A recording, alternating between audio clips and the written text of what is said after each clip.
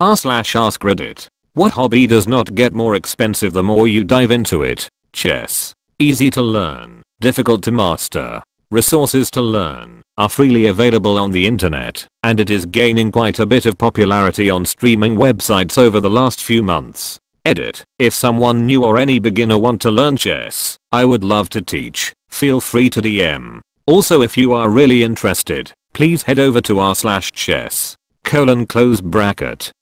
Edit 2. My inbox is inundated with replies, and it makes me really happy that a simple comment made so many people interested in chess. If you need any help, please include your chess.com or lichess.org ID or both. Register if new, so that it will be easier to communicate. Edit 3. Going to bed. Will reply in a few hours. Keep up the chess hype everyone, and also the cheese hype. Loads of people misreading the first word, lol. Wildcrafting. That's pretty much the entire point. Note, wildcrafting should be practiced mindfully, with sustainability in mind. Take only what you need, leave enough for the plants and animals to live well and reproduce. Abundance is there, but only if we don't harm it. Writing. It may even happen that by diving into it, you could earn something. Writing. It takes a certain amount of conscious effort to keep prices down though. Knowing that you don't need a fancy computer to run a word processor. You do not need a Mac when a Chromebook or lower end PC will suffice. Nowadays, a Bluetooth keyboard for your smartphone will also work. Knowing that Google Docs and OpenOffice are free, and that you don't need to shell out money for Microsoft Word or Scrivener. Knowing that you do not need to pay for illustrations, unless you're ready to sell to a publisher. Knowing the difference between actual publishing and vanity publishing. Knowing that you need neither the best keyboard nor the best chair to write. Not spending money on writing related tchotchkes. Knowing that you do not need to pay for feedback. The internet will gladly give it for free. Realizing that if your story is compelling enough, you don't actually need coffee. Cross stitch slash embroidery. It's fairly cheap in general, but once you have a few sets in, you have a wide variety of colors to do your own. Eater, whoa. Thanks for the silver. My first. If you think you've got the passion, then embroider, fix and fashion, for there's really nothing finer than a needlepoint designer. Take a moment, take a minute, take a spool of thread and spin it. Take a work of art to relish. Make a pattern to embellish. See I say it in confession, that it's simply my obsession, for there's something pretty bitchin' about an afternoon of stitchin'. Oddly enough, lace making, Depending on the style of lace you're doing, the initial cost of tools can be fairly steep or super cheap. Some styles require a needle. Just a needle. But once you've got the equipment, you're only ever required to buy thread and maybe pins or paper. Okay, pattern books, but if you're even a little bit creative, you've got that covered. Source, used to make lace. Over the course of 15 years, I spent maybe $200. Not 200 a year, 200 spread over 15 years. And most of that was because I wanted specialty threads, like handspun linen, etc. And if you let some historical reenactment groups know you actually enjoy making lace, you can make a fair bit of money off of it. Handmade, historically accurate lace is quite pricey, and 99.9% .9 of that cost is in labor. The SCA is where I got started. Eventually left the SCA but didn't leave lasses until my health just wouldn't allow it anymore. I did once make a arts and sciences judge scream in the midst of a competition, though, lol. One of the upsides of lasses is how strong it is, compared to some of the others. I was talking to a friend about this, and, to prove my point, picked up a 3x2 foot panel of lace, my work, twisted it up, like I was going to towel snap somebody's butt, and then jerked on the ends as hard as I could. Judge screamed in horror, thinking I'd destroyed a year's worth of work. It didn't destroy it. I just unrolled it, smoothed it out, and laid it back onto the table. No fuss, no muss. It's one of my favorite stories lol.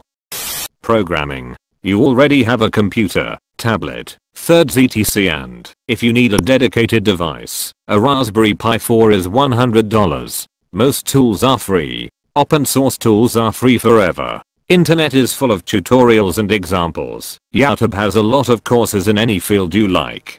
Programming for fun has a competitive side too. Edit 1. For everyone asking about 3DS. Yes.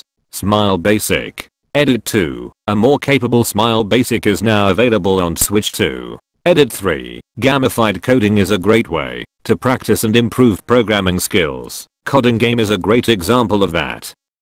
Geocaching. When I was a kid my family loved to geocache and eventually we set one up near our house. An office worker wrote us a long ballad about how excited he was to see a new cache, and how he rushed out, found and signed it, and made it back in less than an hour just in time for his meeting. It was so sweet and memorable. Geocaching is such a great hobby 3. When I created my first geocache, it took less than 2h until the first geocacher had found it. He logged that he had rushed there right after work all the hardcore cachers subscribe to the feed of new caches to check if they potentially can be first to find.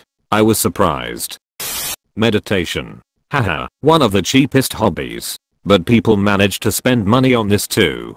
Joining expensive courses, buying aesthetics like expensive candles, mats etc. Going on meditation retreats in high-end resorts in exotic locations. I can understand some well-scented candle or more comfortable mat, but why would anyone need some fancy wall ornaments or golden Buddha figurines? I thought closing your eyes is one of the most important parts. I do find that having low light and ambient noise helps me focus on meditation, especially since I haven't really mastered it to the point where I can do it just anywhere. It's nice to have a place set aside with nice smells, sounds, lights, and decorations that make you feel more at ease. Luckily my college has a room like that, so I don't need to make my own. Though tbh I find meditation to be so helpful to my mental state that it might be worth it to invest in a little space for it when I have my own home.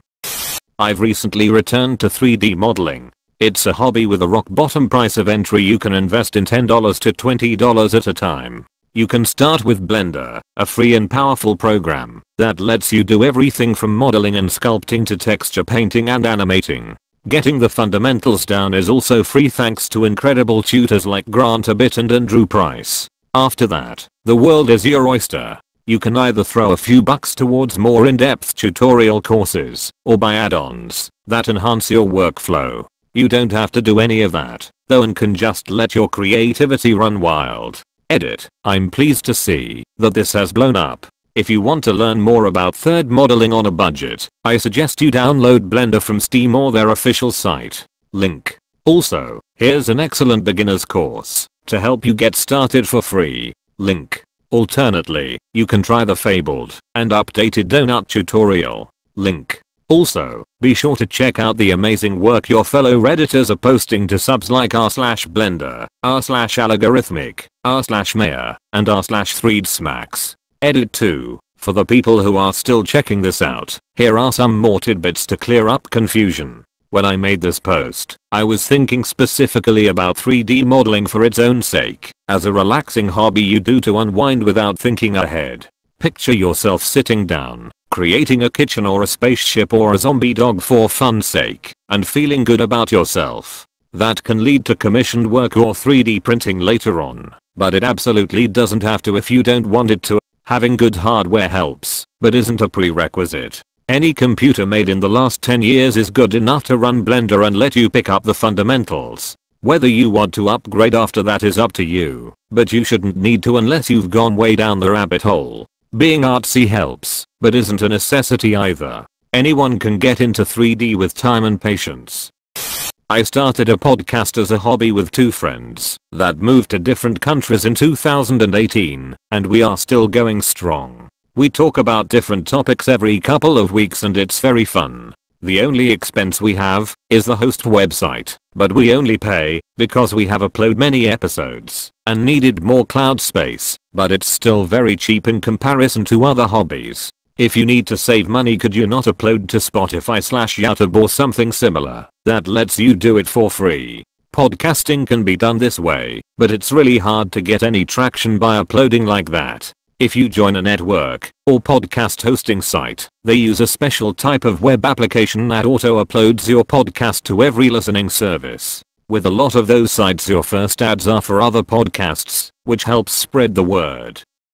Writing. All you need is a Word document and your brain, unless you're like me, who prefers IRL writing and now has a dragon's hoard of journals to write in. I hoard a bunch of empty notebooks. I'm so scared to write in those pretty empty pages and mess up. I feel this. I once bought an antique looking journal and wanted to write poems or make it a diary. Well, no. I was too afraid to mess up or write something stupid that I started writing my favorite poems from famous writers because I know that they're great and I won't regret it. Except my bad handwriting. Now I started writing poems, but I was too afraid again, so I just used a block. I hope someday I'll be comfortable enough to write in those beautiful notebooks.